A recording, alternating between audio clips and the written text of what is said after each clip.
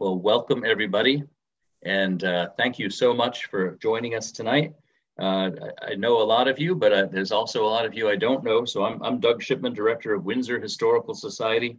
And uh, I'd like to welcome you to this evening's virtual program uh, called Why Now? Museums, Race, and the Road to Inclusion with Jamal Jimerson, who on my screen anyway is right next to me. I don't know where he is on your screen in the checkerboard squares, but he'll be coming on in just a second. Uh, so this is the third in our series of four virtual programs this winter. Uh, the first two of our programs, for those of you that participated, you know, they featured uh, Windsor and Connecticut history uh, in very specific ways. And the second of the two programs are really intended to help us examine how we do history, how we prioritize our work to be more inclusive, uh, strategies that can help us to achieve this. So tonight is Jamal Jimerson, uh, and uh, in just a few weeks, we'll have Fiona Vernal uh, talking with us as well about doing history more inclusively. So while we recognize that some degree uh, these topics might have greater to appeal to people who run museums, uh, board members, staff members, and so on, and I know we have some museum people on with us tonight, uh, we also felt it was really important uh, as part of our own inclusion action plan to help our broader membership and general public understand why we at Windsor Historical Society have made becoming a more inclusive organization our top priority for the beginning of our second century.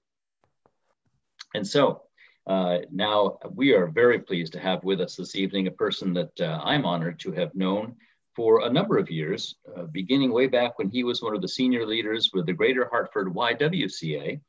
Uh, today, Jamal Jimerson is owner and CEO of both Thought Partner Solutions, where he leads a small team of consultants and educators in anti-racism work, and is also the founder and executive director of the Minority Inclusion Project, a nonprofit organization devoted to helping the nonprofit sector close the racial, leadership, and governance gap.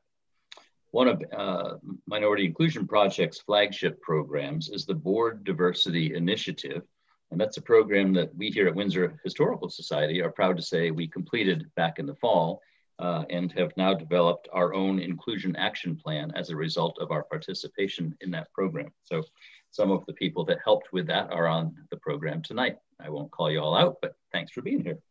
In addition to a long career in nonprofit leadership, Jamal holds a Master of Science degree in Human Services with a concentration in the management of nonprofit agencies, a Master of Arts in Business Communications uh, with a concentration in leadership and influence, and a BA in mass communication, where he concentrated on understanding the role of communication and fostering interaction and interdependence across gender, race, and culture. So Jamal knows what he's talking about not just from all the academic training, but from a lot of direct experience. He's provided training sessions and made presentations and keynotes on equity, diversity, and inclusive leadership at numerous workshops, regional and national conferences, nonprofits, colleges, and businesses uh, that combine research, personal stories, and his professional experience. We're very pleased to have Jamal with us today to talk about why it is now more than ever so urgent that museums like Windsor Historical Society become more diverse, inclusive, and equitable organizations. And so without further ado, I'll ask Jamal to unmute himself and take it away. Thank you, Doug. I appreciate it. I appreciate it. Good evening, everyone. Good evening. Good evening. Um, I see some familiar faces. Thank you for the waves. I appreciate that. Um, I, I, decided um, in approaching this conversation tonight that I wanted it to feel more like a meaningful discussion than a lecture. So I've, I've spent the day today, for example, doing presentations for folks. And I really wanted to speak with you tonight and, and kind of share my insights and thoughts. And then I want to invite you in for some questions, for some Q&A a little bit later. Um, I'll start by giving you a little bit of, of like my background and my work up to getting here because you've heard some of my uh, professional accolades, which, which I'm honored that you could hear about, but I'd love to tell you a little bit more about like my personal journey um, because my personal journey played such a huge role in defining what made me decide to uh, focus my life on racial equity work.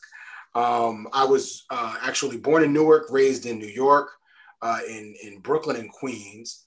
Um, I grew up in a family that was um, pretty low to middle income. Um, so we had some some some struggles, and I, I, I share this openly with folks all the time that I grew up in in the 80s and 90s. I'm 41. Um, during the time that I grew up, uh, the 80s, that we were really uh, ravaged with the with the crack epidemic, and frankly, my family. Um, I always said in our neighborhoods we had folks that sold crack and folks that that used it, and um, my family were the users, unfortunately. So I, I grew up seeing a lot of drug use, um, being exposed to a lot of violence. But I think from a young age, I had a sort of, um, for one, I was forced to be a little bit more mature than I probably uh, should have been at that age. And two, um, I think one of the things that I, I spent a lot of time learning about as a child was that my experience as a young man was really um, heavily um, centered on my identity as a young Black kid. And my mother would tell me stories about her growing up in Queens. And one story that stands out, for example, is having been chased from John Adams High School by uh, a small mob of white kids who were screaming out the N words to her. And they literally chased her and her brothers home from school. And she's, you know, she was born in the 50s. She graduated high school in the 70s. And um, those were the things that defined her experience. So, so much of what I heard coming up from her was um, was shaping my sort of understanding of my racial identity. I think the other thing that shaped my racial identity coming up, folks, was that, um, you know, the 80s and 90s in New York were, were sort of a racial hotbed. Um, and I was a kid. So I'm watching the news and I'm hearing all of these, these stories. And I just, I share that because some of these stories left some deep, deep impressions on, on my spirit. Like literally, I, I could name people that I've never met, um, but for some reason I know their story because they were a victim of racial violence. I can I remember being uh, six years old, for example, when 66 year old Eleanor Bumpurs was uh, shot by a police officer point blank range. Uh, be, you know, she had a mental illness, and I guess they walked into her apartment and, you know, they just killed her. And this was when I was six. And when you grow up with those types of stories, they kind of don't leave you. Um, I was 11 years old when, or 12 actually, when um, a young man by the name of Gavin Cato, um, a young black kid, was was mowed down on Eastern Parkway. Uh, him and his cousin Angela were hit by a car, and uh, the folks who hit them, when the ambulance arrived, the the the the couple that hit them were escorted from that vehicle and they left those two little kids under that car. And uh, the, of course, the young man passed away. And this resulted in the community having an uprising and, and, it led to what we knew as the Crown Heights riots. And I was 12 years old when that happened. I was also 12 when, when the Rodney King incident happened. And um, the uh, neighborhood that I was in literally shut down because they were afraid that our neighborhood would riot um, as a result of Rodney King. Um, I was eight years old when Yusuf Hawkins was killed for uh, being in the wrong place at the wrong time, walking through a white neighborhood. And he was uh, in a case of mistaken identity. They thought that he had come there with his two other black friends to uh, to apparently date a girl in the area, and they decided to um, to shoot him and kill him. And these stories stayed with me when I was young, and they really informed my consciousness and they didn't so much anger me as, as much as they did make me want to figure out ways at that time i was focused on how could i help um, empower particularly people of color black people and, and specifically to be able to um, move beyond some of these issues. And i didn't know what else to think when i was a kid. So subsequently you know i, I stayed sort of active um, in, in, in civil rights issues. Uh, ended up in college at the University of Bridgeport, which is what brought me to Connecticut. And while in Connecticut, I got connected in with some community programs. I didn't know I was going to end up uh, falling in love with with Bridgeport, and uh, ended up staying up in in the Bridgeport area and doing some really great work in the community out there. But all throughout my journey, I continued to stay connected in with folks that were trying to either lift um, uh, the consciousness of Black folk and, and connect them to resources they need, or trying to deliberately call out and stop uh, you know, racist policies and practices from happening that were uh, disproportionately affecting Black families and communities. So that's pretty much been the bulk of my journey. And, um, you know, I can tell you that, you know, I, I, did another, I had another conversation several months ago with uh, the New England Museum Association where we, where they asked me to speak on this topic there. And what's interesting is that I had shared with them that growing up, I um, I didn't really go to museums much. It wasn't it wasn't the thing to go to. Um, that I had a disconnect from the arts and culture scene. When I when I was an adult, when I was in my 20s, I started going and, and participating in some arts and culture stuff. But even then, I didn't really go to museums.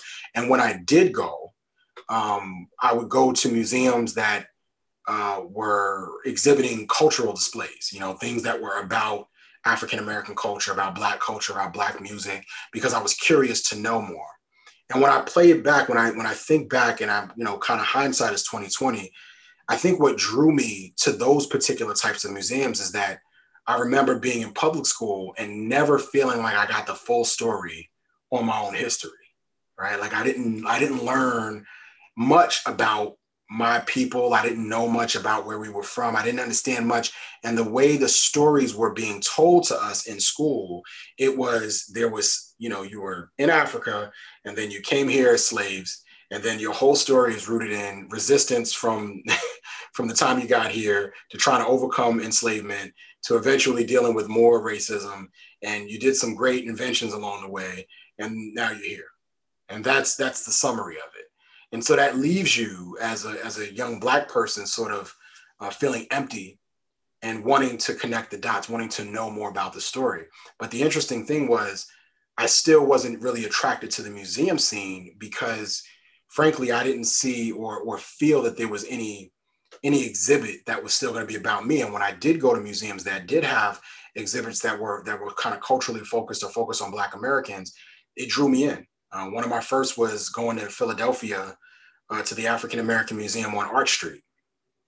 And I appreciated going there because the first exhibit that I went to uh, was a heritage display. And they were just talking about different cultures and different type of hair textures. And I, I learned things there that I never knew. And then I went back another time to the same museum and they had a, a display that was purely about quilting and how and how important quilting was to uh, to the history of Black people, and frankly, how quilting was used to uh, help enslaved um, people to find trails or find pathways out of oppression. I thought that was powerful um, to hear that story. So I connected with that. Um, and I connected with the opportunity to, to fill in the dots to learn more about who I was. I went back for a third time to that same museum when they had a um, an exhibit about uh, Malcolm X that I was curious about. And, and I and I thought that was interesting. And he, among some other things they had there. And then another time after that, I went to the Schomburg in Harlem and uh, and and and visited that museum. And they had another display on Malcolm X and some other folks, and I thought that was powerful. And and once again, I found myself going to places so that I could get the full scope of the story. So I want to just continue reinforcing that is that um, what attracted me as a person of color to museums, to arts and culture were the things that talked about my story, that extended, that gave that gave details about who I was and what my past was. And um, you know, they say you can't know where you're going until you know where you come from. And when your history is kind of not being talked about in school and other places, you're looking for those opportunities to learn more. So I found myself really being drawn to the museum scene as I got older because they would offer those opportunities. And then subsequently, a few years ago, I had a chance to. I'm hearing an echo for some reason. Someone's uh, mic is on double or something.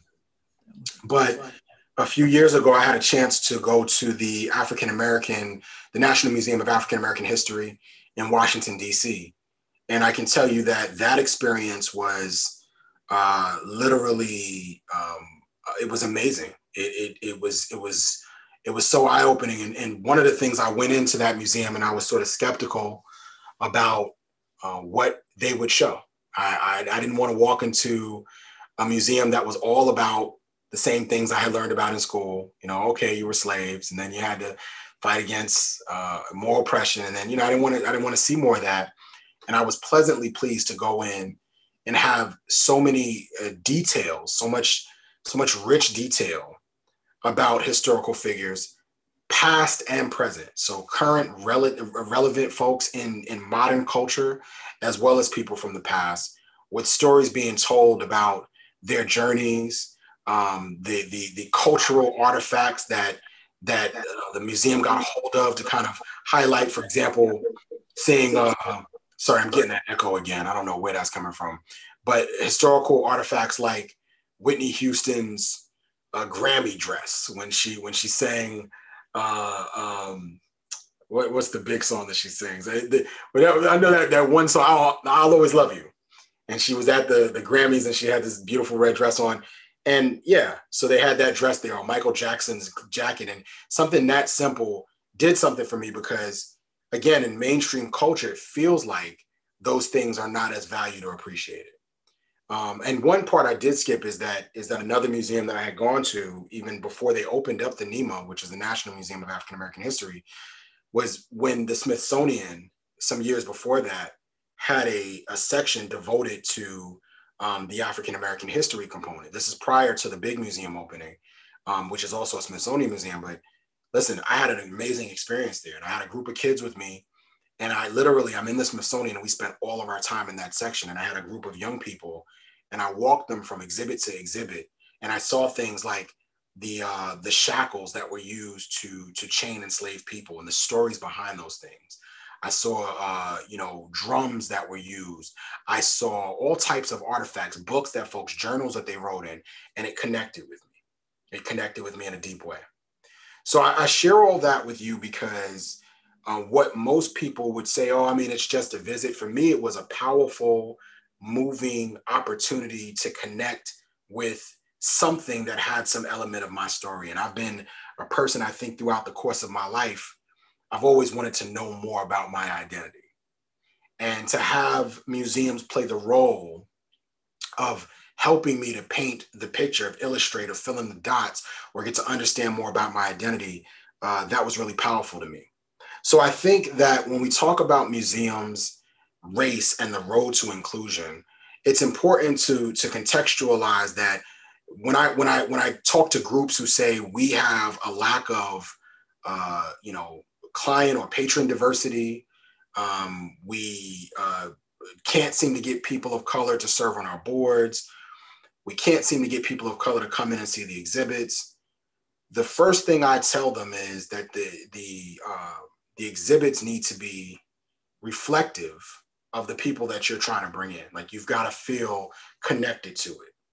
And and not just in you know Black History Month or just this one special exhibit, but really making my story and the story of so many other millions of people in this country a part of the mainstream experience. That I shouldn't necessarily have to go to uh, a museum that's that's singularly focused on my history to get some element of my history in other spaces. So I share that all the time with folks. But I think that what's happened is over the years that, and this is what I've seen not just with museums, but with other in- industries, is that we've we've kind of been complacent and we've allowed a lot of things to kind of happen. And this this quiet separation that's existed, this quiet um, sort of disregard for inclusion um, has been harmful. And I don't think it was about intent either. I don't think that folks intended to be uh, exclusionary, and I don't think they intended to to be, uh, you know, quote unquote racist or anything else. I do believe that the the impact was exclusionary and the impact was racist. And what that ended up doing was it, it, left a lot of people who have a story to tell and have, a, have valuable histories, it left us out of the mainstream discussion. And so in speaking to the museum group several months ago and talking to this group now, I really do think that the reason why now is the time is because you play a very critical role in helping to tell the whole story. You are the authority. You have the ability, and I say authority in that as, a, as someone who's a visitor, that I see museums as an authority. And that your choice of exhibitions and the words that are used uh, to describe moments in history or the meanings of certain cultural artifacts and objects, they matter. And when those things are done without regard for diverse communities, it's harmful and it keeps us out of out of attending. And so I do think now is the time to tell the story. I'm also looking at our current climate. So I said I grew up in the 80s and the 90s where, you know, I grew up in sort of a racial hotbed, but it was still kind of contained. Well, now we're at a point where we went from, uh, you know, early 90s having one camcorder tape Rodney King get essentially uh, jumped by seven or eight different officers to now everyone has a camera and they're pulling them out and they're using the cameras to do what? To tell the story. They're using cameras to provide substance for the narrative to once again show what's happening in our society. And because they're using these cameras, we're seeing firsthand the atrocities that are occurring. And frankly, I think the George Floyd incident of last June was just literally the most eye opening moment that I've come across in my short time on this earth that it seemed as though people who had otherwise been complacent or sort of blinded to the complexity, the nuance, the challenge of racism in this country were suddenly introduced to, yeah, it's here, it hasn't gone anywhere. And, and some would argue it's, it's, it's worse because it's been sort of hidden for so long. And that we've been, we've been ignoring the, the endemic nature of it, that it's been normalized. And so here we are in this critical moment where because we're able to see these things on camera the conversation starts to brew up. And now we're talking openly and honestly about stories. We're talking about whose story is missing who's not at the table. And post george floyd as a consultant i was inundated with lots and lots of requests for support from organizations who are who are opening their eyes and going we want to do something about this now and the reality of it is that I'm happy to see that eyes are opening, but I want us to recognize that with opening your eyes, there needs to be an acknowledgement of the sense of urgency to, to catch up finally, to, to really stay with the times. And especially museums, I want you to, to have a relevant stand, a point, a leadership role in this, in this current movement. And I think there's an opportunity for that. Uh, we see across the country that folks are trying to correct elements of history by taking down monuments, by, by pulling down flags, by uh, challenging old traditional racist stories and narratives, by calling out uh, text, books, um, uh, cartoons, illustrations, things that we've we've had in our society that have historically shared the narrative from a monocultural standpoint and now that we're accepting that, yeah, we have this multicultural issue and everyone needs a voice, well, now we're challenging those traditional narratives. So the museum is in this unique position to take a stance and take a role in this. And I don't think, you know, I, I, spoke to a group several years ago where that question came up of, you know, well, they're trying to get rid of history. Are we okay with that? And my answer to them was it's not that the museum should be okay with them getting rid of history, that the museum needs to play a critical role in helping to ensure that the entire story is being told.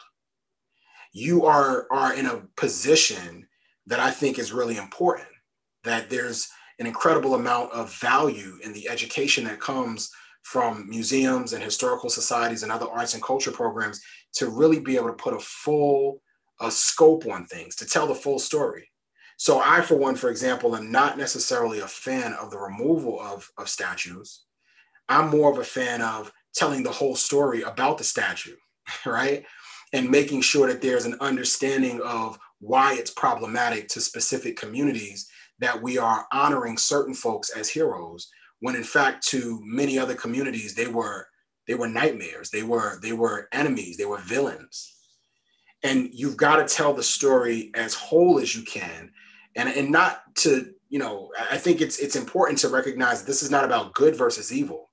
There is a complexity in the human experience that says good people do bad things, that good people make bad decisions, that when we normalize uh, racism and we act as though it's not problematic, that even the most well intentioned, well meaning people that we love and trust participate in racist acts.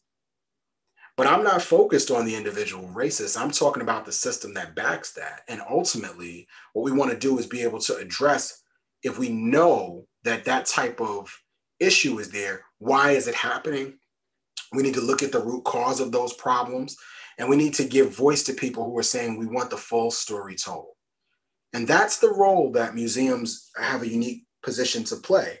Um, I think it's it's it's a it's the responsible way to go.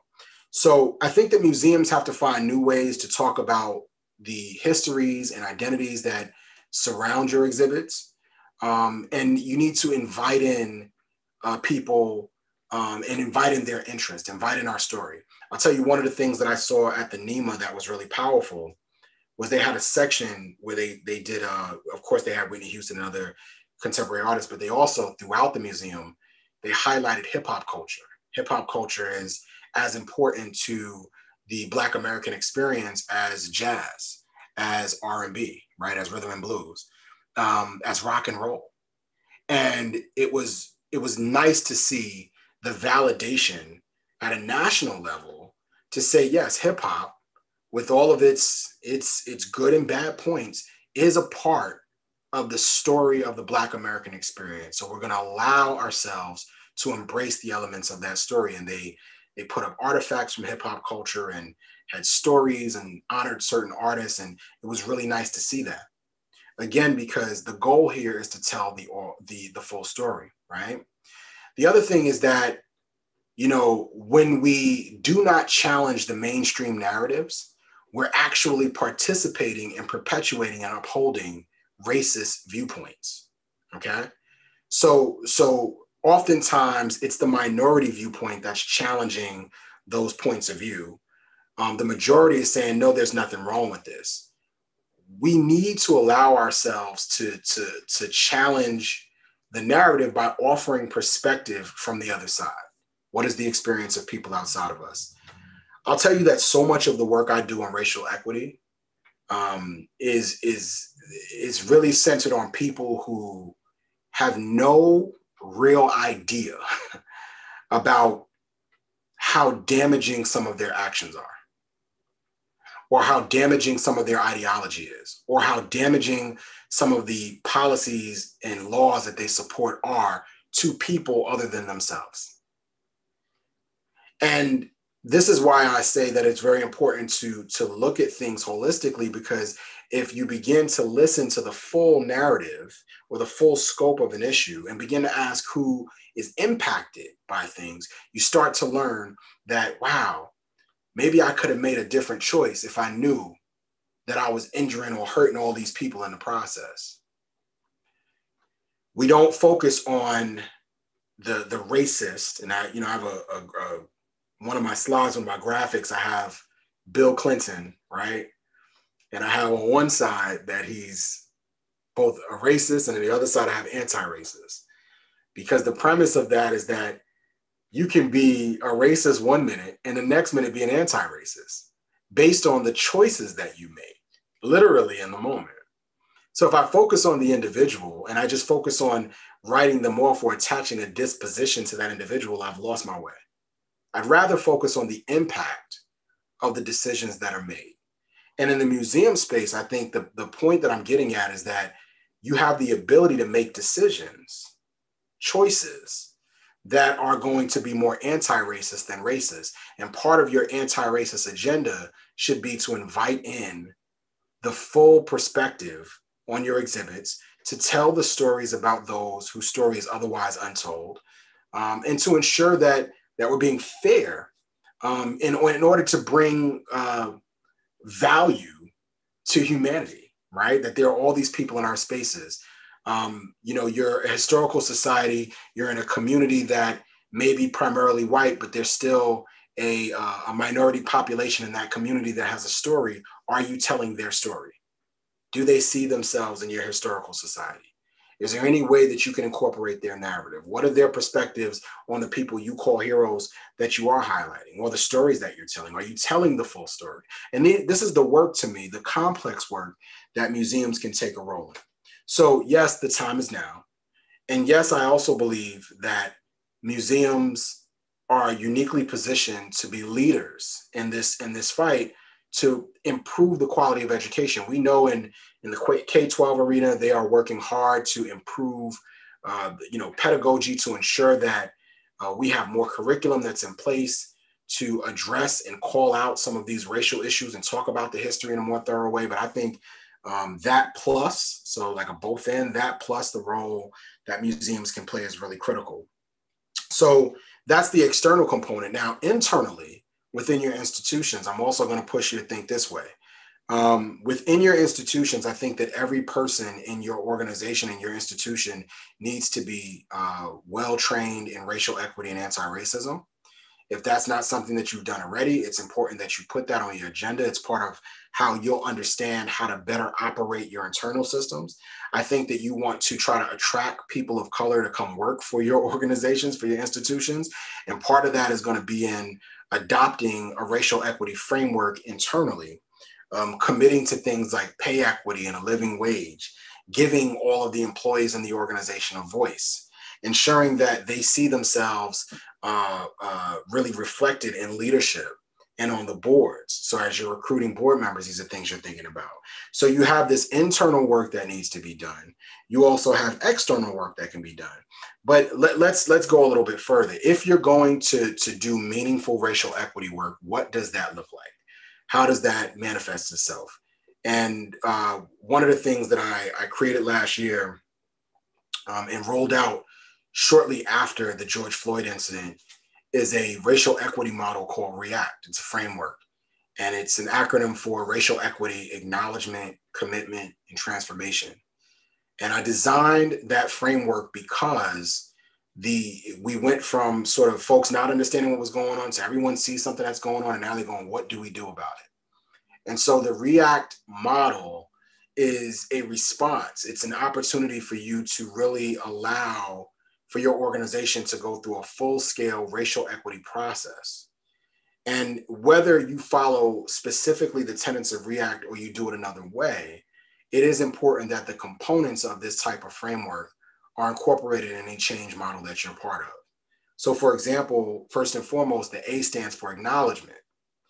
And what do I mean by that? I mean the ability to acknowledge the way racism shows up within our institutions within our structures, within our communities, and how even the very exclusion of minority voices in the development of our exhibits or in the telling of their stories is a form of racial exclusion, racism, of inequity.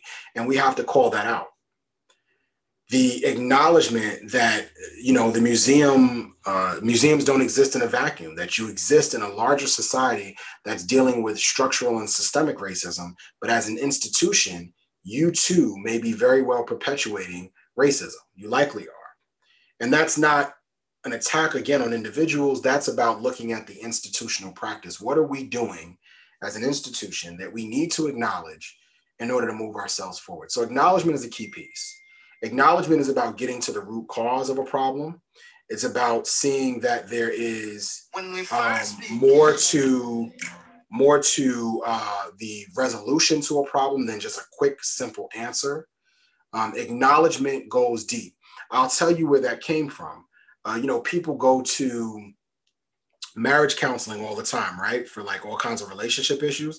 And what do they tell you when you go in there? That you've got to listen, um, and you've got to start learning how to how to acknowledge right? How to validate how to recognize the perspective of someone outside of yourself. The hardest thing to do sometimes is to do that. So in that acknowledgement work what you're doing is you're doing some listening.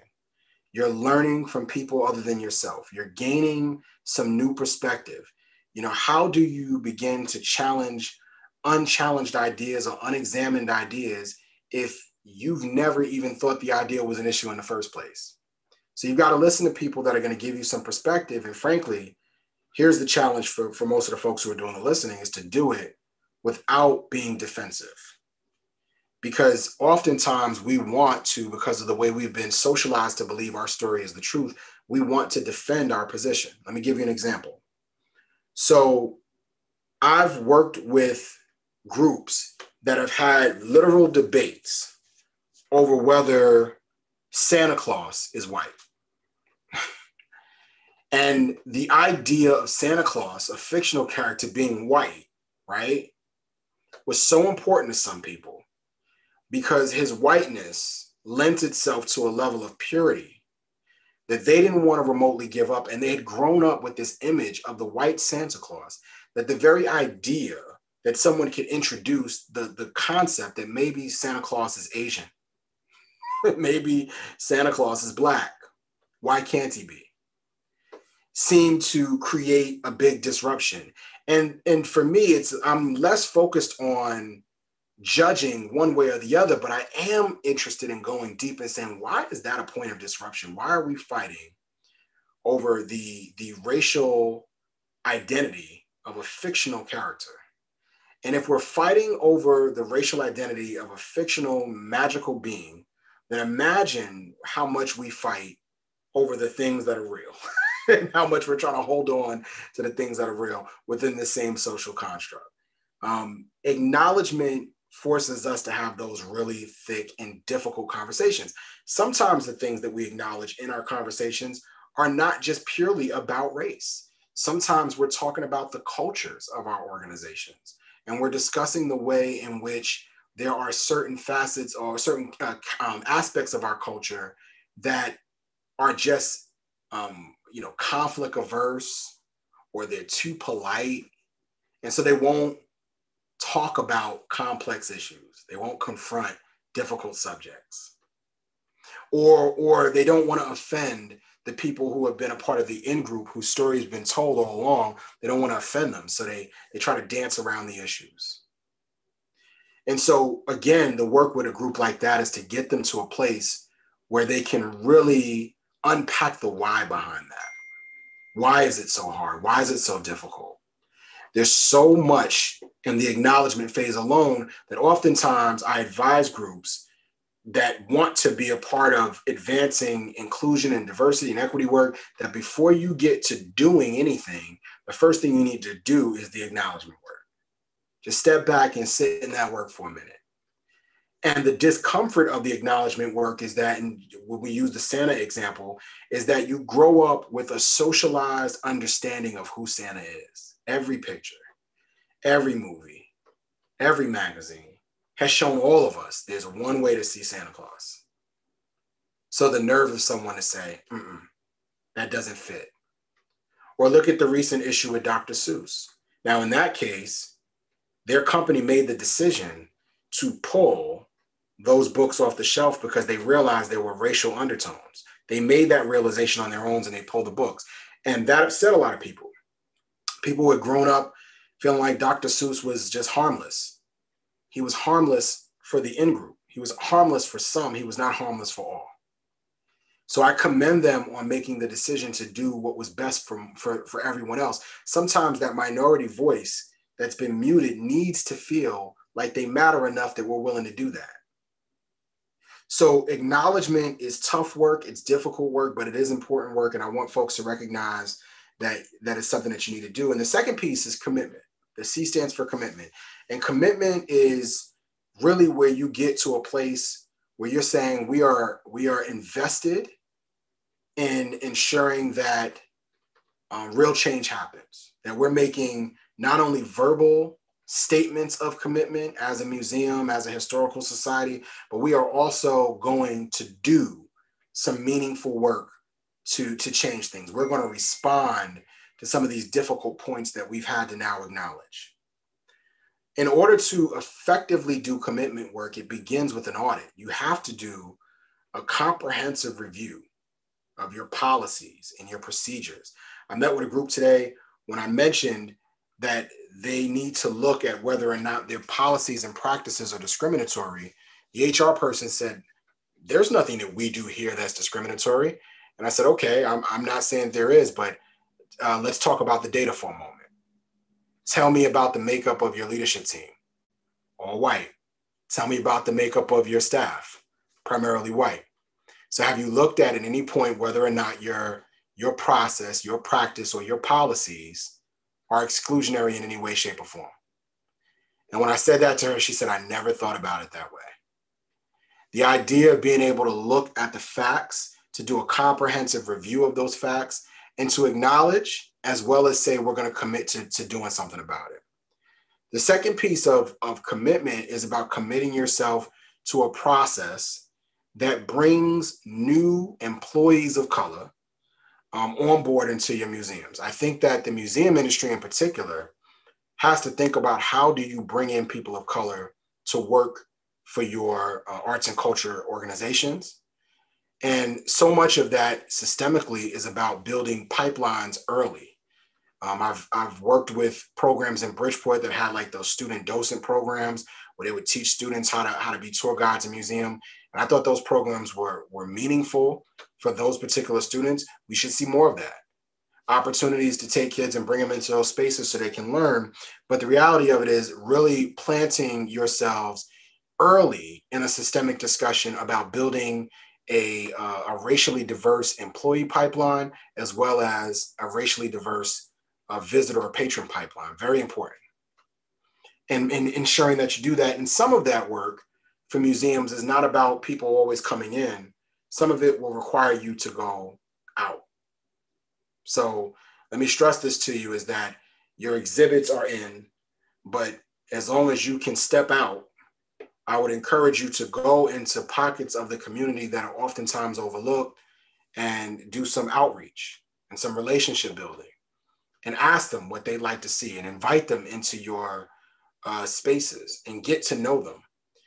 I, you know, so much of this work is about relationships and the way when we're in relationship, we are responsive, but when we are not in relationship, we oftentimes are neglectful. Um, we are oftentimes overlooking the needs of folks when we're not in relationship with them. So I want to encourage that. The next piece is what I call PowerPoint mapping. And specifically, points in which you are making decisions about exhibits, about who you hire, about the type of outreach you're going to do, whatever decisions you're making, at different points in that process, someone has to decide. And what you want to do is identify the decision points, and you want to ask yourself, are you making decisions that include all? And the only way you can make inclusive decisions that invite everyone in is to stop at those decision points and really bring others in to help you to make those decisions. So, for example, in the hiring process, what I tell people is, you know, when it comes to identifying candidates that you'll bring in for just for interviews, forget forget whether or not they actually make it through the process. Who's helping to decide when you're screening resumes whether or not these candidates should get a call back or not?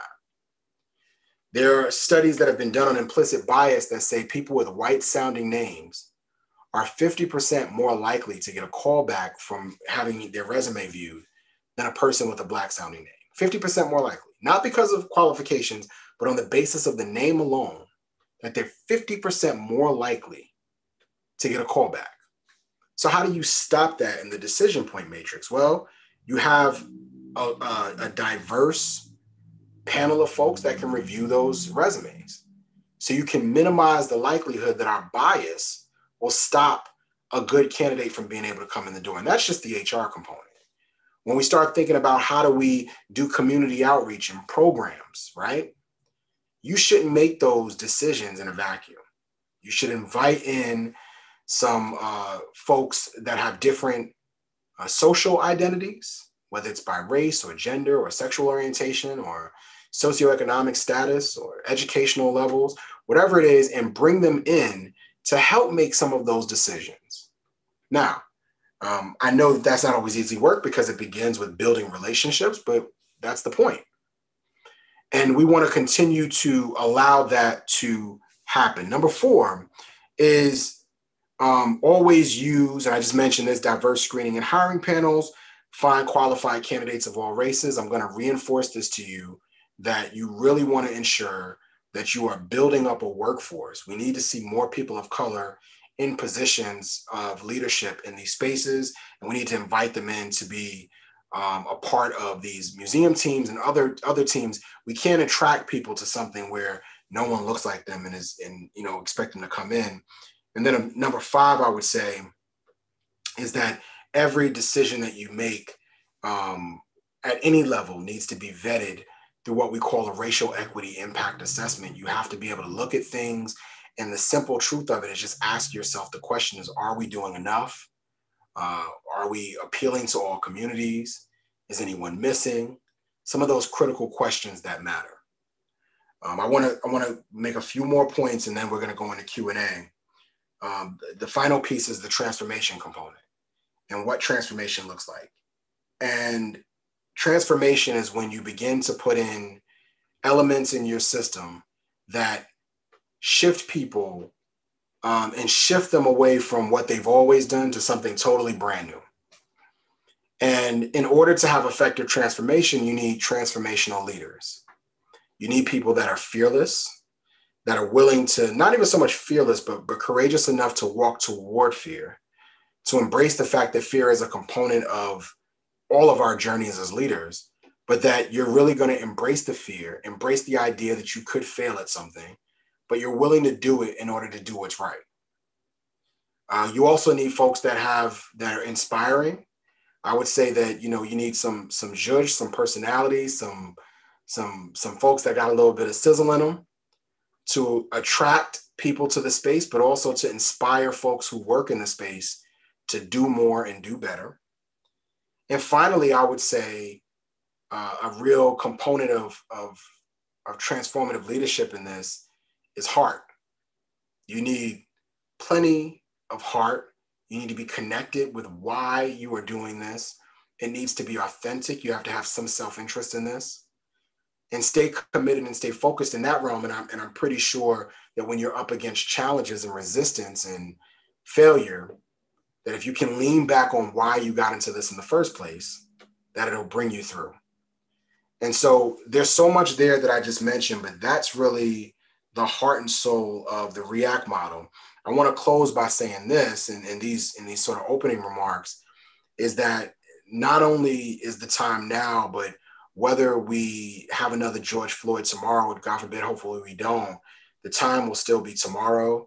Uh, the time was yesterday we need everyone to stop um, ignoring, um, whether consciously or, or unintentionally, the, uh, the deep levels of systemic issues that exist. And we need folks to step up and, and do something about it. And frankly, I want to reinforce that your, your sector specifically, your subsector, the arts and culture sector, museums specifically, can lead this work you can be instrumental in, ensuring that stories are being told, that narratives are being shared, and that we're putting full color and context uh, to who we are as people. As long as we continue to only tell the stories one way, we're doing more harm than good. So I'll stop right there with my remarks. It's 753. I want to give folks a chance to lean in so we can begin our discussion in our Q&A. And I would encourage you, uh, please open up and ask questions about specific things that you're dealing with. If I can answer them, I surely will try. Um, but also feel free to share your thoughts and your commentary about some of what I've already put out today. So we can open it up from here. Awesome, Jamal. Thank you. And uh, sure. I, I, didn't see uh, I didn't see any uh, comments or questions in the chat, and I was going to call on Jeanette Isaac, but it looks like she stepped away for a sec. So she had her hand up like within 30 seconds of Jamal starting. So I was going to honor that with calling on her first, uh, but we'll we'll get her when she comes back. I just wanted to say, Jamal, first, thank you. Uh, and the things that you've talked about while we're really talking about arts and culture institutions today uh, really apply to any institution that you're part of, right? So some of you here are leaders in your uh, religious organization or in a different kind of organization, maybe even at work uh, as an employee somewhere. And these same principles apply no matter where you are. So it's it's great general perspective uh, in, in going through your lives in as members of an organization where you're the whether you are the top leader or uh, leading from where you are uh, which is uh, also very important for all of us to do. So uh, let's open it up for Q&A. Just you can raise your hand. I see Debbie, you were the first, so I'm gonna call on you. Thank you. Hi, Jamal. Hi, yeah. Mr. Shipman. Good evening, everyone. Um, I have struggled with the change that's coming for historical um, statues and monuments that you talked about. And one of the things I was hoping is that they're not destroyed because, in as much as they don't tell the whole story, I think there is room for museums to house these statues and continue the conversations because I'm a student of history and I just value the past, whether it's bad or good. I think it's to erase one is still not a solution. Um, as you say, right, they tell the whole story. I just wonder how we get past the destruction of these monuments and how we put them in a in a place where we can have safe conversations. Yeah, you know, so I think that the destruction of the monuments, um, the desire to tear down things, you know, what we call cancel culture, right? Is like, you know, we want to act like things are just not here or we want to dismiss it, is what happens when the pendulum swings to the other side, if you will, right? And so you go exactly. from, from extreme racism and feelings of absolute and feelings and, and, and facts in which we can we can we can factually call out exclusion and racist activity to now we're on the other side of the pendulum where it's like now we want to react we're making somewhat emotional uh, decisions without the full context and that we're not thinking about the implications of simply erasing whole parts of our story in order to somehow uh, atone for the atrocities that have been committed. And so I think that the reason why people want the the the uh, statues destroyed is because it would, in their mind, stop the celebration or the honoring of these very specific figures. And I can appreciate that. Um, and, and I too believe that some of these figures clearly are um, in need of being revisited in terms of whether or not they should be celebrated. But I agree with you that um, the, these statues, these uh, artifacts can be moved somewhere where they can be preserved. And this story, the narration around them, and this is where museums come in, uh, have the ability to really tell the full story um, and offer that, that complexity to it. I think to get there, we're going to have to one acknowledge that the pendulum has swung because this is we're, we're talking about years of bubbled up emotion and tension and you know, when you're talking hundreds of years of people being silenced, right, and their experiences being disregarded and hundreds of years of, of direct marginalization, um, there is a, a period in which folks need to express their anger. And while we may not necessarily agree with it, we can try to understand it.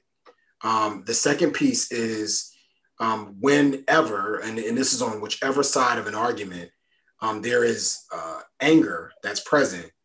What I try to do as someone who is in these conversations a lot is to listen for what can be validated. So there's a valid position that everyone has. So I want the statue taken down because I don't want this figure celebrated as a valid position to have. And I think someone needs to say that to folks like, we get that you don't want celebration of this figure. However, what we don't want to do is we don't want to participate in muting the narrative and not allowing this this figure to be offered the complex outlook that it deserves right so i think in order to diffuse some of the anger there's a need for some social validation of where that anger stems from and why it's important to have these discussions and then third i would say is uh, really uh, inviting like i think this is a role that uh, that historical societies and museums can take on is facilitating public discussions about some of these controversial figures. Um, I know, for example, in Waterbury, there was a, a statue of Columbus, and there was a big um, sort of a, a, protest, if you will, with Black Lives Matter, and then supporters of the Columbus statue from some other institutions, and, and they got into it, and ultimately was diffused. But the historical societies can play a role, and this is where I talk about leadership steps out. Leadership sees conflict as opportunity. Conflict is opportunity for transformation. Conflict is opportunity for learning. Conflict is opportunity for growth.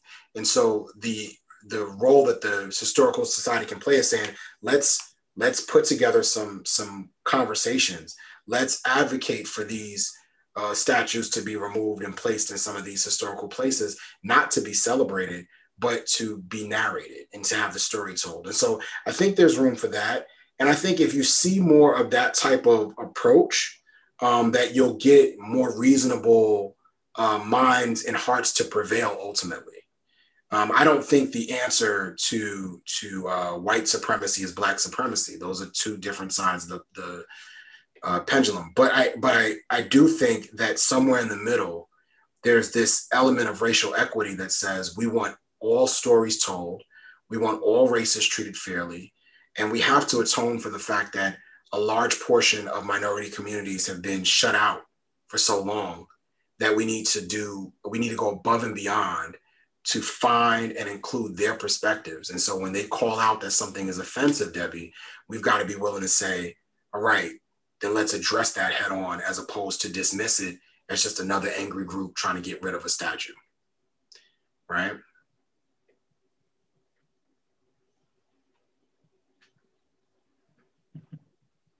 I agree with you. I was I was also at the place where there's a lot of guilt and there's a lot of shame. Yeah. And so when you acknowledge, sometimes you you are putting that guilt and that shame on the table and some people can't really handle all of that. Yeah. But anger to me doesn't really get us where we need to be because at the end of the day we all have to live together. So yeah. the conscious choice for us is to how do we meet each other where we are? Yeah. Understanding that these are hard conversations. I am frustrated that we're in a time where there's a crisis of leadership, where what we see on Capitol Hill could not prevail in, in an ordinary workplace. Yeah. Where things that are said could not just go unpunished anywhere that I've worked before. Mm-hmm. And therefore are we healing are we really healing or are we still skirting the hard conversations.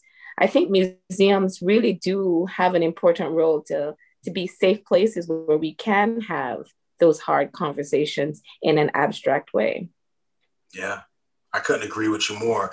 And let me say this that I, I think to speak to your point about the crisis of leadership i think that it's it's the crisis of of transformative leadership. Because I think we do have folks that will get in and leverage age old position power to do age old things and operate in the self interest of some and the disregard for others. I think the need here is for folks to step into a transformative role and recognize that, um, you know, what's good for all is good for all. We cannot allow um, this idea that we can ignore atrocities against whole groups or uh, dismiss the lived experiences of people and then think that everyone's going to want to have conversations. We've got to do both. We've got to invite you in for a conversation and still be willing to acknowledge in that conversation that there's been some harm done. And I'll go as far as saying this the United States needs to not only apologize for the atrocities against Black Americans in this country, but they need to atone for it through uh, systemic reparations and, and the inclusion of specific um, economic and political uh, uh, infusions of, of capital and other things to rebalance the scales. You know, better schools, um, you know, access to appropriate housing, uh, reforming the, the prison system. I mean, those are things that to me fit under a systemic reparations package. And this is not about putting just putting a check in someone's hand and saying, go spend this stimulus money, right? Or, you know, we're going to stimulate, we're to give you this money for everything that ever happened to you people. I'm talking about reforming the system as a whole, because I think part of the anger that's that's there is that there's just been no uh, there's been no atonement. And so it's really hard to get to a place of reconciliation when there's no atonement. And what folks want in the dialogues is they want mutuality and they want peace and they want us to have rich, meaningful dialogues. And I want that too. But I know that the likelihood of being able to get folks there when they've felt no sense of atonement is very difficult. And that's the challenge you're up against.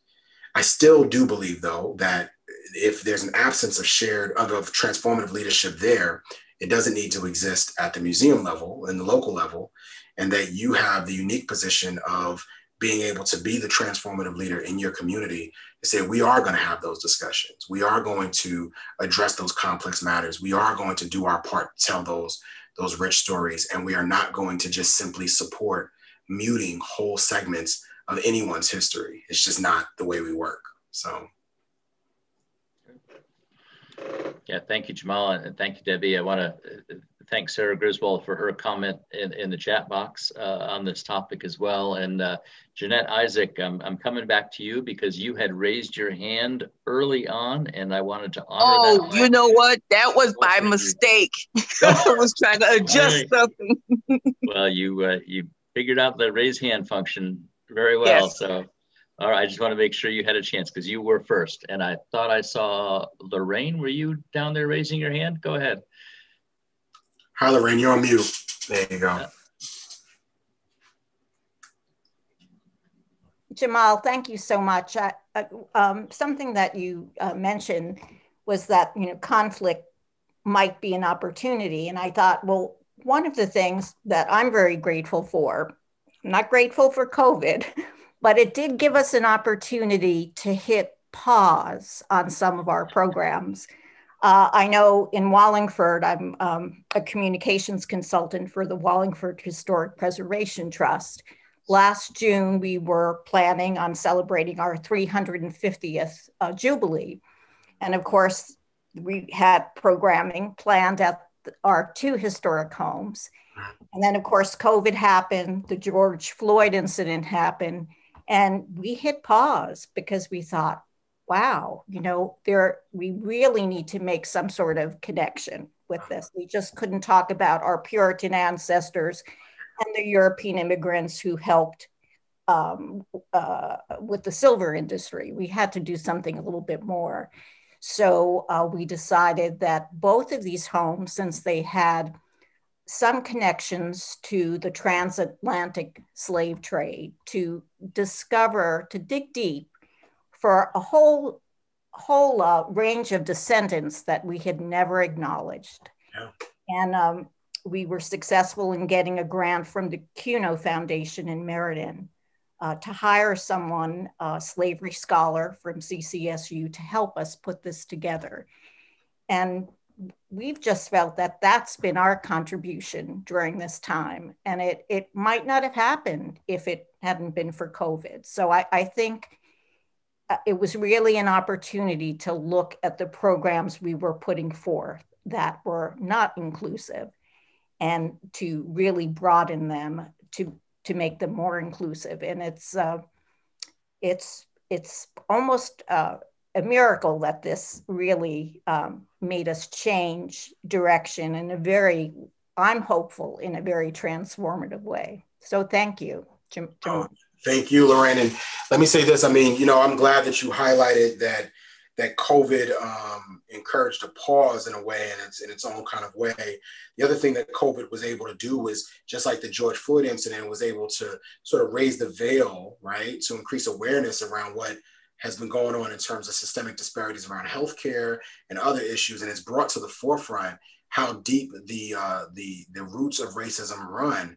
And so, while we're not happy about COVID, and we will never celebrate the loss of, of half a million people uh, to this to this pandemic, what we will say is that, and many more around the globe, what we will say is that uh, it has done uh, the work of being able to highlight on the mainstream level how significant these racial and ethnic disparities are in the healthcare system and how health inequity runs and raising that point as once again, you know, I always say to folks, if we live um, under the veil of, of ignorance and we are unconsciously incompetent, which means we don't know what we don't know, at the point where we now know, where the information is in front of us and we've been told this, we can't not know it. we, that's a super double negative, right? Like you, you, you, you, you can't just ignore what you know. So once you become conscious, you become aware, your consciousness is elevated, you're responsible for what you know at that point. So I think what COVID in that regard has done is it's elevated some folks' awareness and once again has led to people saying, I had no idea, but now that I know, I'm responsible for what I do with this information. So hopefully to your point, uh, folks have, have been able to see that and they, you know, when they start back up, we'll see some difference in the way we're doing things in our healthcare system, in our arts and culture sector, and other key uh, parts of our communities. Very good. I see Sarah Griswold looked like you had your hand up first, and then we'll go to Florence Barlow right after that. Hi, Sarah. Hi. Um, this has been terrific. Thank you so much. I really appreciate it. Um, one of the um, one of the places I work, I do a lot of work around the state, is the Institute for American Indian Studies in Washington, which has, um, and also I'm on the board of the Mary and Eliza Freeman Center in Bridgeport. Um, and um, I am waking up to the histories in every town in Connecticut being, I mean, you know, a lot of our communities think that they have a simple history or a very white history, but there isn't a community in the state of Connecticut that isn't impacted by the, um, the amazing history of Native Americans. And um, I don't believe that there is probably any community that hasn't had, had some Black history connected to it. Um, in Washington, Connecticut, where I live, there is this amazing woman named Bathsheba Liberty. And um, in the church record, her father put when she was born, and is free. Um, and, um, you know, nobody, she left, she left nothing behind except that really. Um, and that, you know, those stories are really important. Yeah. Um, and, um, and then, you know, the 12, 12,000 years of Native American history in our state um, it's very important, I believe, to acknowledge that in every single historical society and museum. Um, so that's just, I'm just like, hooray. I, I, love what you have to say and it, and it, it works. Your, your react model is, is, uh, uh I'd like to know more about it actually. So thanks. Thank you. And, and, and I'll respond to that by saying this, that I, the, and as you know, the, the history of um, indigenous folks in this country and the history of, of black folk in this country are so deeply intertwined in terms of how we've had to all deal with um, the the uh, the history of racism here, right? The the issue of racism in this country. I, I myself, I'm I'm Seminole, so my background on my father's side is rooted in in Florida and, and Seminole Indians who left because of racism and went to the Bahamas and came back and you know, uh, the, the, the connection that I learned about between this between uh, the Seminoles and blacks in that area that developed into what they call the Black Indian was that a lot of the indigenous folks in those spaces were actually housing or trying to, you know, were hiding Africans who were on the run, who were, were trying to provide them with refuge from dealing with uh, with with uh, slave masters, which is really interesting. The other part that I learned is that uh, many of the the um and, and as a result when they would hide them or give them refuge some of that that uh, the marriages and other things would happen and you know children were born. And i guess that's where my family's line started. But um one of the other things i learned was that uh, it was difficult for for uh, you know white uh, slave masters to really control uh, indigenous folks because they were uh, willing to die for their freedom and were willing to put themselves on the line. And so the use of Black bodies and Black labor, where there was almost no resistance to a degree to the idea of being enslaved when you're bringing them from Africa and you're imposing all this intimidation on them, really, um, it, it you know, it, it kind of existed in parallel to this other system in which, you know, you know, you got indigenous folks that are like, no, we're not going to do that, and then literally provided support and in some kind, some cases, refuge uh, for folks for for Black folk who were who were pulled into this madness. So it's really a long, deep story between those communities. And uh, recently, within the last year, you've heard more and more folks using the uh, terminology of, of BIPOC, which is Black, Indigenous, and people of color and and I appreciate that as someone who is black and indigenous, right, by by root, uh, to know that we are for once acknowledging that um, collectively, not only just black and indigenous folks, but all people of color in this country have been dealing with some real systemic uh, challenges, and that we all need to be acknowledged as a part of the solution. Now, let me just say this: that the atrocities, not to play oppression Olympics, but atrocities have been worse for some than others. Um, at the same time, I think it's important that we acknowledge that um, you know the non-white population in this country has has had a hard time and a hard experience, and that more and more we're seeing collective action from groups that have been minoritized. So um, it is important. So thank you, Sarah, for, for referencing um, the indigenous population. Thank you for sharing that. Well, thank you. Um, Florence, you're next, and then I have a chat question from Carissa Gold. I'll. Hi, Florence. Florence, you're on mute. Yep. There you go. Jamal, thank you very much. This is very interesting. And as I always say, for such a time as this, in Windsor, we're getting ready to celebrate our centennial. Uh-huh. And I've always said to people, I've lived in Windsor since 1970. And I always said, you know, it takes a village. And when you talk about history, if you go all the way back to the 1700s, there were people like uh, Sarah was saying with indigenous, with slaves. There have always been people of every color. So I'm working with uh, Agnes Pier. We're getting ready to celebrate our centennial here in Windsor. And we have our five villages. And we'd like to be able to go into neighborhoods, talk to people, and try to get them involved so that we can do a big celebration with all these different diversities. Yeah. Now, here's the tricky part. I don't know if you have an answer to this. We're trying to figure out how do we go down into an area and meet someone or define these people? Do you have a yeah, yeah. So, so we get that question a lot because I, I, do a lot of work with um, with with programs that are trying to go into towns and communities and and build those relationships. And what I usually tell folks is in every um, community, there are certain people that have trust equity um, that, that are the, the folks that you need to know.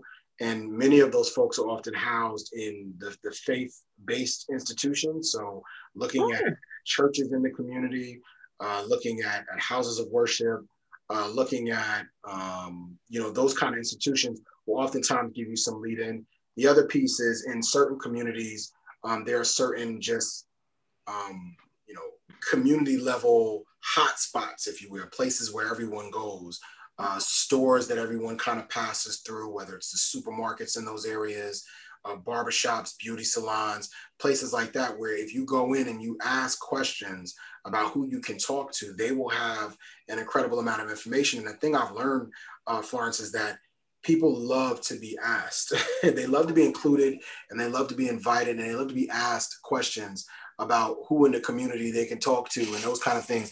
Like really showing that you have a lot of respect for the community and you would like to get to know some folks. But what happens oftentimes is there's usually an apprehension if you will to go in and have those conversations. Well we don't want to offend anyone. We don't i think your approach of saying no we want to go out and meet people is important uh, but go out and, and, build outreach. The other thing is that the schools may know folks. You have you have community outreach officers, family workers at the schools that may know uh, families and community members that you can also connect with as well. So leveraging partnerships with uh, schools and with organizations that already have trust equity in those communities also gives you an inroads. Okay, so it's it's I'm willing to introduce folks, my folks to you because I know you, right? And I trust you. Therefore, I'm willing to make that introduction. Thank you very much. Sure, no problem. All right, Florence, that was a great question. Thanks so much. And just for those out there wondering, Windsor is still the oldest town in Connecticut. And the 100th anniversary she's talking about is the anniversary of the establishment of the Historical Society wow. out of the town, just in case you were wondering. All right, so uh, Carissa Gold had a question. Uh, she says, thank you, Jamal. Could you please speak about how to address the equity pipeline of future leadership and employees of color that doesn't trigger appropriation? Uh, the, I, you have me until the doesn't trigger appropriation. I want to understand what your sort of thought pattern was because I want to make sure I'm answering the question correctly. Is that who, who asked that question? Carissa is unmuted, so Carissa, she's hi, hi, Carissa. Hi, Jamal. Thank you. Yep. Um, so I'm calling from Boulder, Colorado, and I'm a faculty at a university in Boulder, and we are desperately needing more infusion of faculty of color. Yeah. And the question is, how can we find faculty of color that have gone through the academic track mm-hmm. that um, fulfills the credentials for the university? And so uh, to me, I completely understand the pipeline concept. But if we go all the way back to elementary schools, yeah. how do we bring forth that vision without training them to be exactly the way we want them to be. I That's how I'm using appropriation. Yeah, no, I, I understand it now, and I, I, think you know I'm, I'm, thinking about it in the both and context because I can appreciate that what you're saying is okay. That's one that's one avenue, but you obviously don't want to just build them for that one particular purpose. But I think when I'm talking about going back to sort of uh, look at, at, at long-term pipeline building, it's about the introduction. Like, you know, I, I remember, for example, Carissa, like when I was a kid going to school in the inner city and like career day, they did not have enough options outside of like maybe four or five, uh, you know, and they were they were high profile type positions. Like, do you want to be a police officer? Do you want to be a doctor? Do you want to be a firefighter? Those kind of things. And I think I, and I've said this to groups that really, you know, uh, careers are complex. Most of us have bumped into careers we never knew we'd be in, right? And so it's like to be able to have folks to go out and have those kind of conversations early with young people, really about exposing them to the options and the choices, and also introducing them, you know, uh, early. A lot of the college programs that I've been affiliated with eh, to, to be able to get young folks of color in college, you start early to introduce them to what the campus life and all that could look like and what the rigor could look like. So I think it's it's similar and what I'm suggesting in terms of pipeline building for employees is that it's about really showing and introducing this idea that this is a possibility for you. Now, that doesn't answer the short term uh, question, but it does say in the long term, it helps you to think about systemic pipeline building. But I think this goes back to, to, to sort of the response that I have for Florence, which is that so much of the everyone is trying to build a pipeline right now. You know, uh, folks of color in this country represent a portion of the demographic that eventually will become a majority. But right now, individually, each one of those groups is still a minority group. And so, oftentimes, when we're trying to diversify, we're dipping into a lot of the same pools, right? And we're dipping into, and we're trying to get to the same folks. So, I think what has to happen is there needs to be a um, an acknowledgement that um, relationships with other groups that already have those elements of connection or trust equity are important in order to be able to identify appropriate people for these types of opportunities. I think that's one piece of it. And I really do believe it's a big part because through those relationships with other schools, other organizations, alumni associations, folks that have that have that connection, you may be able to get access, additional access to uh, professionals of color who would be interested in what you're doing. And I think you know awareness. We'd be surprised at how little people know that there is this um, there's such an open door for some really great opportunities out there because the door's been closed for so long and the pipeline of communication has been quiet, has been shut for so long to certain communities that I think just at least getting out and doing basic things like community information sessions for professionals, job fairs, uh, doing doing things that allow folks to know that you know yes we want to bring you into our community and this is why and this is this is what we're looking for. And frankly Carissa I would even go as far as saying you know talking about your values around equity and inclusion and why it's important that you're not just looking for another check mark, but you also are looking to enrich the community. You're looking to enrich the school faculty, and that what your hope is is that this will make your school better sometimes the sell is what makes a difference. I like when I get asked to serve on a board, I'm asking them for what? Are you looking for me to serve on your board because you're looking to you know my skin tone right? Is this is this a construct issue or are you looking for me to serve on the board because i bring some uh, unique competency that you are craving to have on your board right? And you're looking for my perspective and strategy and governance. And what i often find is that that stops the conversation because ultimately what they were looking for initially was an opportunity to check the box. And so to move away from the conversation about pure diversity but focus it on equity and inclusion and how important that is to you as a value, but be substantive in your relationship building and be authentic about what you want to do. Finally, I'd say with any group that's looking to do uh, recruitment and development of, of folks that have multicultural backgrounds, you really want to uh, revisit your standards. And I know that that's a system wide issue, but so many uh, businesses have to think what are the standards? It's Not, and watch this, I'm not using the terminology lower the standard.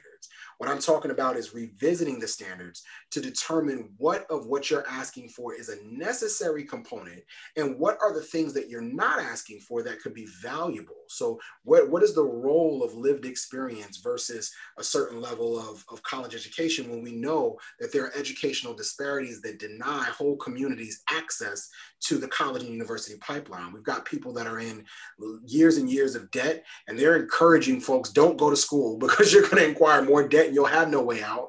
And so when you have those kind of issues that exist and you've got years and years of educational disparities and people are getting educated at different levels, and then you say that this is the standard across the board for entry into our illustrious uh, institution, what you're doing is right there, you're eliminating a segment of the population that could be eligible. So I'm not suggesting to lower the standard because I don't believe that you need to lower it, but I do think you need to revisit it, restructure it, and start to think of what else you value that could be equivalent to some of the core skills that you're looking for and, and have that conversation in a meaningful way so that when you're looking at candidates, you're opening up your lens a bit more. Thank Jamal, thank you. I'm so glad to hear you talk about lived experience. You know, there's a whole movement uh, of, you know, crediting lived experience vice academic experience to, uh, you know, bring people in. And, and that's certainly something we're looking at here as well is, you know, do you, do you need a person with a master's degree in a particular topic to actually do the work? Or does somebody with a bachelor's degree and some great experience or great training in, in a field suffice? Uh, and can they do an equally exceptional job? So, and I also want to say something that Jamal taught me a long time ago when he was describing going into this business. Originally, I think you, and correct me, but you, you were kind of thinking, well, you know, I can be a Rolodex for people that want to find people of color to serve on boards. And then you realize that no, it's a cultural change that needs to occur, not just a Rolodex, but you'd get people, you know, white led organizations going, there's nobody out there, there's no people of color. And then there's all these people of color going, I never get asked to serve on boards or, you know, that kind of thing. And it's like these Venn diagram circles that never seem to intersect. But there are a lot of great people out there who would love to be involved in organizations.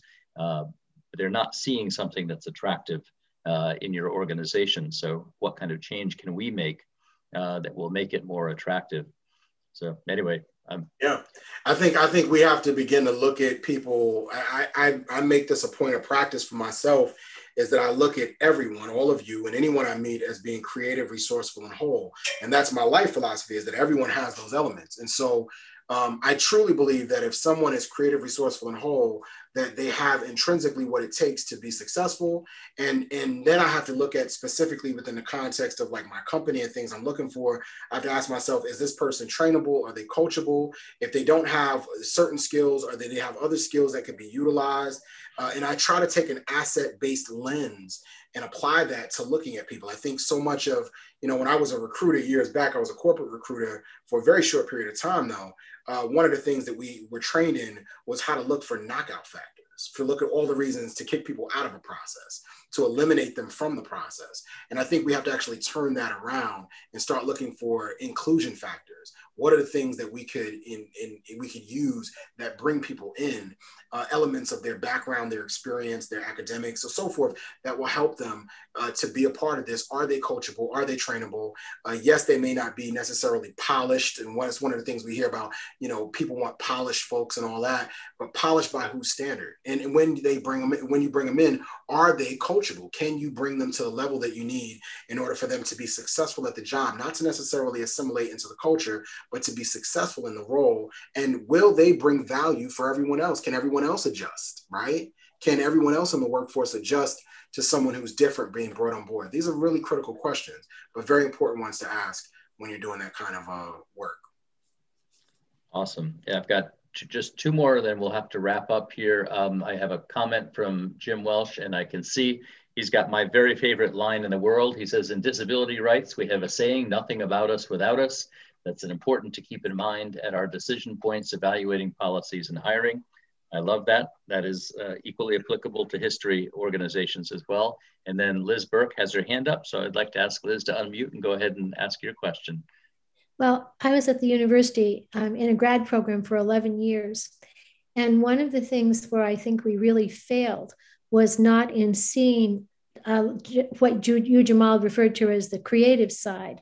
We it turned out after I was in touch with grad students who had suffered through our grueling program, we found out that a whole number of them had these amazing talents that we never learned a thing about. We didn't know that there were phenomenal singers who were singing at our students' weddings and we didn't know that there were artists. We didn't know um, one of my one of my former students has recorded. Well, two of them have recorded CDs. All these things we never knew about them. The program was so rigorous. We sort of wiped out their humanity in many ways. And I've been so sorry about that because that's what has made them magnificent. One of the singers um, is now a, a, phenomenal expert at Johns Hopkins. And one of the things she does is go to all these um, medical demonstrations where they put a, a scope down her throat and she sings while they watch her vocal cords. But that's just a little side feature of her phenomenal singing ability. And I think our program absolutely shut out um, one of my students was a, a, a, Pentecostal and Hispanic and invited me to the um, church where she gave her debut of her CD. And I was just sorrowful that we never knew that in grad school. Another one was an Orthodox Jew in New York City, where we went to her wedding and experienced a whole new world, none of which we knew about. And I think these programs that deny the creativity in people over the rigor of the program are missing this huge element about what makes somebody good. Liz, I couldn't agree more. I just want to, I know we're getting ready to close, but I want to, I want to speak to what you just said. Um, I pulled up one of my notes here from Brene Brown, who said that dehumanizing others is the process by which we become accepting of violations against human nature, the human spirit, and for many of us, violations against the central tenets of our faith. Mm-hmm. Um, and so dehumanization becomes a core tool in racism, essentially, that we leverage this power to take away people's humanity and we justify it. Um, and ultimately, to your point, we've got to start rehumanizing and really allowing ourselves to see people as, as their whole selves and not just putting them in this social construct or box that fits what our dominant culture ethos says is yeah. Um, the right thing or the right person. So I really greatly appreciate that. And I always appreciate an opportunity to reference Brene Brown. That's my girl. She's on point with it. So thank you for, for sharing that. Jamal, that's a great point to end on. I wish we could keep going for questions and discussion because I'm sure others have them. But uh, I just want to say uh, so sincerely, Jamal, thank you. You have been generous with all of your time uh, today and many, many other times with us and really helped our organization a lot. And uh, if by some small way this gives a little more platform to Minority Inclusion Project and Thought Partners Solutions, well, then that's good too, right? Uh, Jamal has said he will send us, the, he'll send me the PowerPoint slides that kind of reinforce some of the points he made today, and I'll send them out to everybody. Uh, so you can have those if you want a, a, takeaway or something to reflect on later with some of the key points, uh, particularly about his process that he's talked about. Um, so again, thank you all, everyone for joining us tonight. Thank you, Sue, who's been very quietly dealing with some of our challenges, people trying to get in and out of the call and letting people in. Much appreciated, Sue. Uh, we have one more virtual history program coming up this winter. Uh, it is featuring popular UConn historian Fiona Vernal speaking about how we are all responsible for promoting inclusion in the collecting and telling of historical narratives. And she has done a lot of collecting and telling of historical narratives in our region. So she will have a lot of great examples to share about oral histories that she has done, uh, particularly with the West Indian population, but many others uh, in our area. So I think uh, you'll find that very interesting. That's on April 15th. I hope you will join us. And so again, from Windsor, Connecticut, Connecticut's first town, thank you all for being here. I had to say that because Jamal and I both live in Wethersfield. So, so thank you all for joining us and good night to everybody. All right, good night. Thanks.